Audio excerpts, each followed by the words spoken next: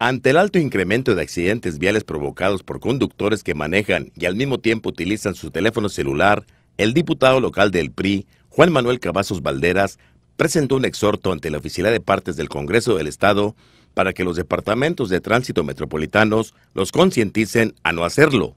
Mencionó que Nuevo León es el estado del país que registra más accidentes que provocan automovilistas que hablan y envían mensajes por su celular al tiempo que están conduciendo a raíz de esta iniciativa eh, en la cual eh, proponemos que la ciudadanía se concientice a no textear y manejar al mismo tiempo, porque es una irresponsabilidad que puede ocasionar lesiones graves o incluso la muerte.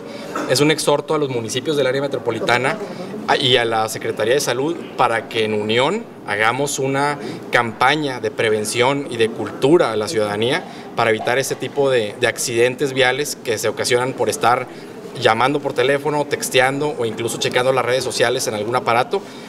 Y ahora, lamentablemente, pues México ocupa, está en el top 10, por así llamarlo, mundial de accidentes viales.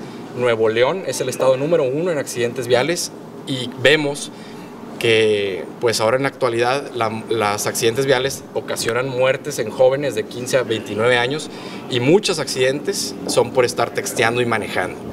Pese a que en varios municipios metropolitanos ya se considera como una infracción al reglamento utilizar el celular y manejar, Cavazos Valderas demandó que los elementos de tránsito hagan realidad esta ley. Sí, existe, pero desgraciadamente, como bien lo menciona, no lo aplican. Eh, el, primero que nada, el número de los tránsitos. Segundo, si sí lo ven, se hacen de la vista gorda y es una cultura que tenemos que cambiar. La pretensión principal de un servidor no es castigar, es es prevenir, es causar que la gente tome conciencia, porque es un problema actual grave. Antes teníamos que, la, que los accidentes viales por manejar alcoholizado era muy grande. Desgraciadamente ahora, este, pues esto es mayor aún y es una tendencia más entre los jóvenes. Tenemos que, que, convocar a la ciudadanía, sobre todo a los jóvenes, que cuando estén manejando se dediquen única y exclusivamente a conducir en sus cinco sentidos y que no se distraigan texteando, revisando redes sociales. En la Cámara Santiago Espinosa, en Radio y Televisión de Nuevo Uniforma, Armando Zúñiga.